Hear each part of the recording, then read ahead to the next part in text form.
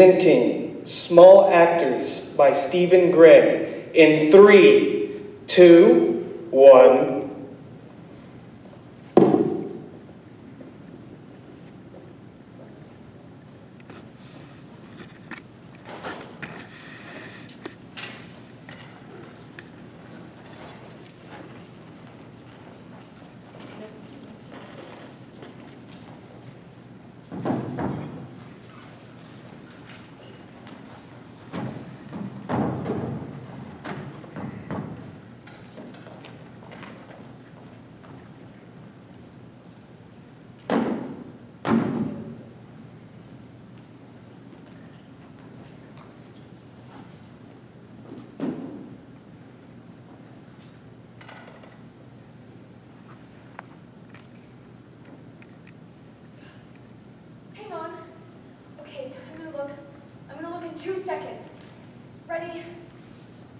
Let's just do it. Wait. I. This would make my day so much better. I'm having such a crappy day. Look,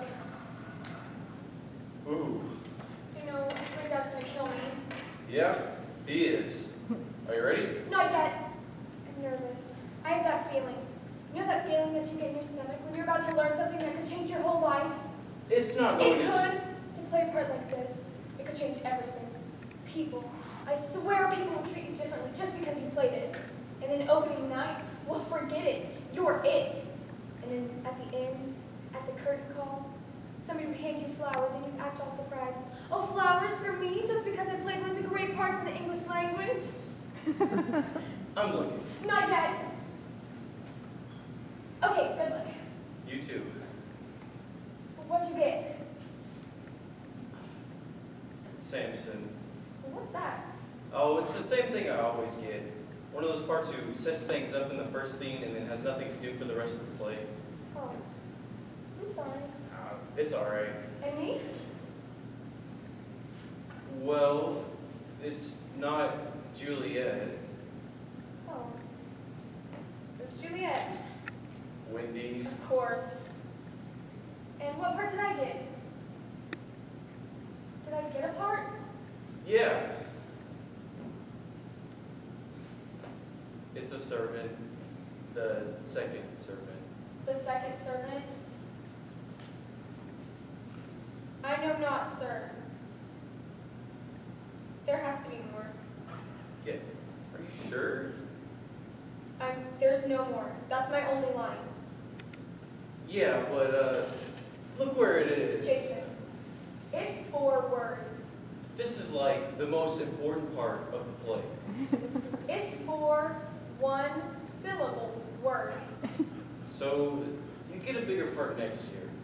Fall musical. I hate musicals. You have to sign here if you want to accept the part. I don't know, I'm kind of busy. Doing what? Take the part. It's not gonna change my life.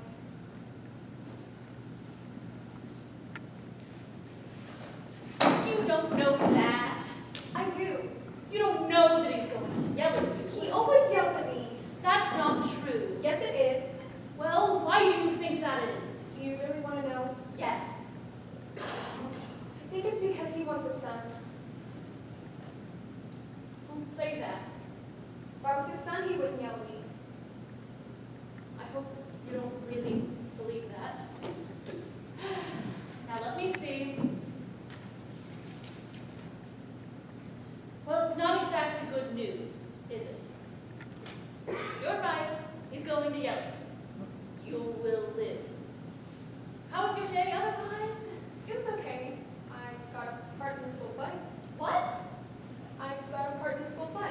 That's wonderful. I am so proud of you. Well, when is it? Uh, the 16th and 17th of October. Oh no. What? We're going to be gone. Honey, the 16th is the day your father and I leave for vacation. Oh, I feel terrible. Well, what role is it? you're gonna be gone. I'm sorry. What part did you get? Juliet. Juliet? You're playing Juliet.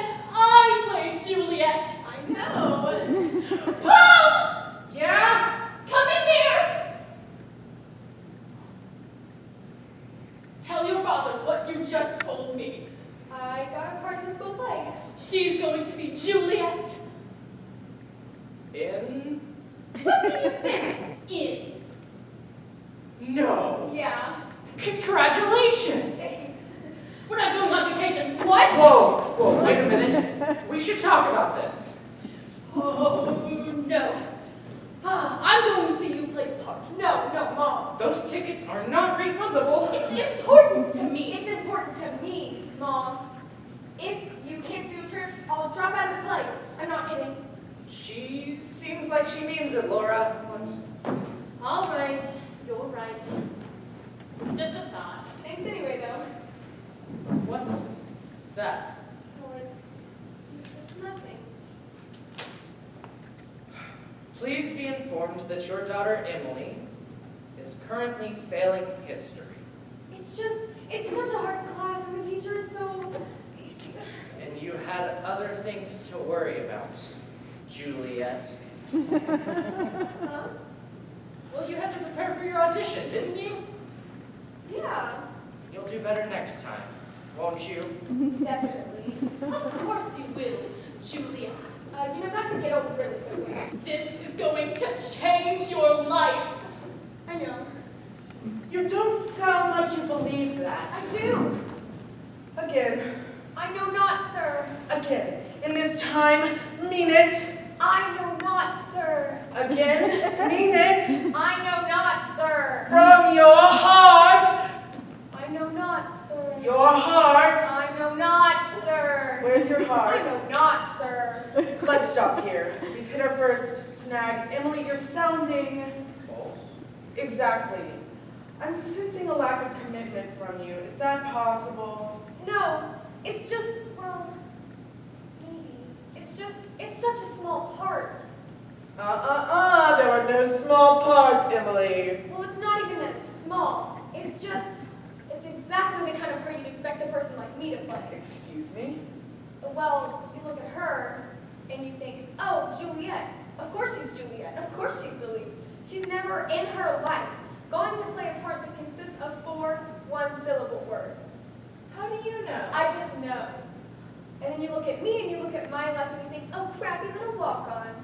And if you were me, wouldn't you be worried that that's all your life is going to be? The equivalent of four one-syllable words? People play all sorts of roles. I don't think that's true. I think if you play the second servant in Romeo and Juliet, you end up playing it for the rest of your life. One more time. I know not, sir.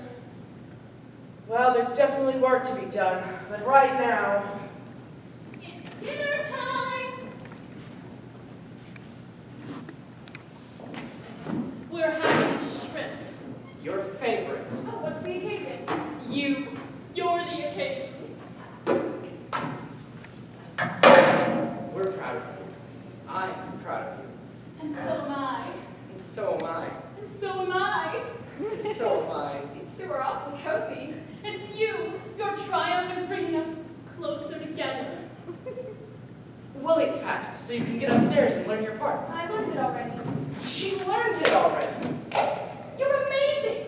Just amazing. I can't get over how different you are. Different? Well, we might as well say what we mean. Better. Better? More mature. And more confident. And prettier. Dad! Well, you've always been pretty in a supporting character kind of way, but now... Now you're a leading lady. Exactly. A leading lady in one of the greatest pieces of drama of all time. You know, people think of it as a great tragedy. It's not.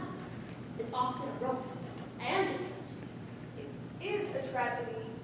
Well, not frequently, yes, but when we did it at my high school, we changed the ending. They didn't die. You can't just change a play. Of course you can. It's just so sad the way it was, so we fixed it. You rewrote Shakespeare? hmm They didn't die. The poison Romeo drinks is from an old batch. It doesn't, it does not kill him. It just slurs his speech. Really? Mhm. And Juliet, when she tries to plunge the dagger into her heart, it misses. It glances off her metal bra. Her what? Her metal bra. When I was, you know, researching for the role, thinking about it, I thought, what kind of bra would Juliet wear? It's the kind of thing serious actors are always thinking about.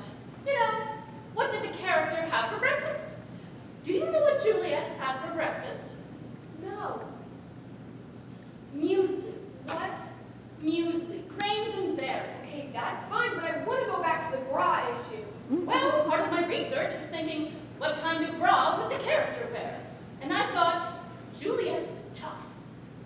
It would be chainmail, size 34B. You knew Juliet's cup size?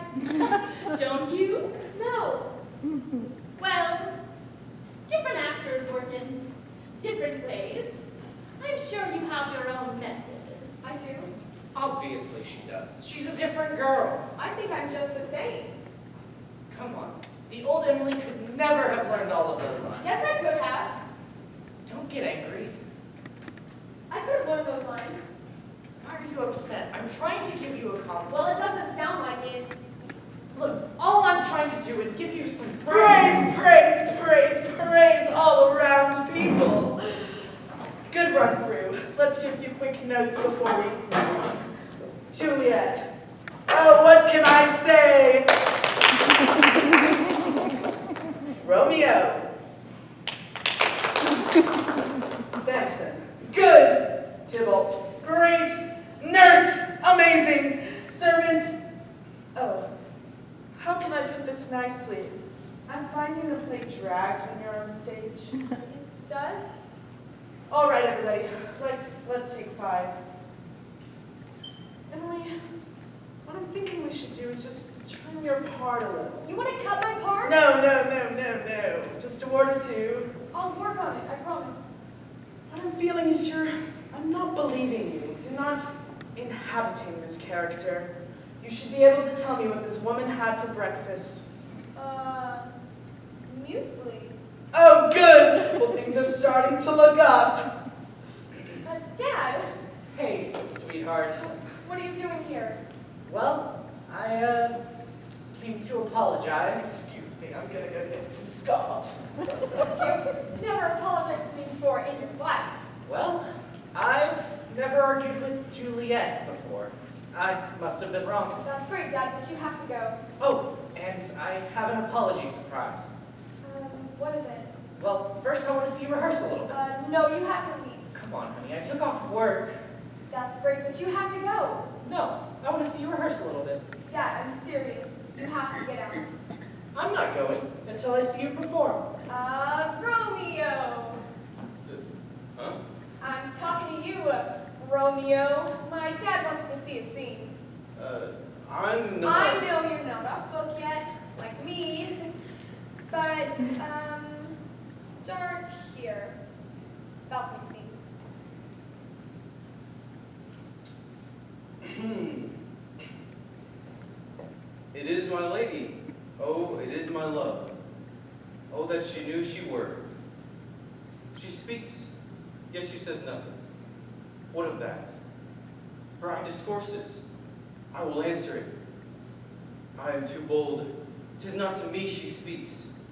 Two of the fair stars in all the heaven, having some business, do entreat her eyes to twinkle in their spheres till they return. What if her eyes were there, they in her head? The brightness of her cheek would shame those stars, as daylight doth the lamp.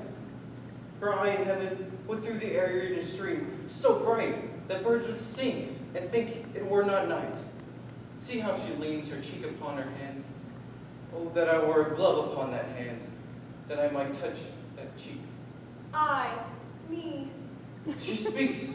Oh, speak again, bright angel, for thou art as glorious as to this night, being over my head, as is a winged messenger of heaven, unto the wide upturned wondering eyes of mortals that gaze upon him, when he bestrides the lazy puffing cloud, and sails upon the bosom of the air. Romeo, Romeo, wherefore art thou Romeo? Deny thy father and refuse thy name.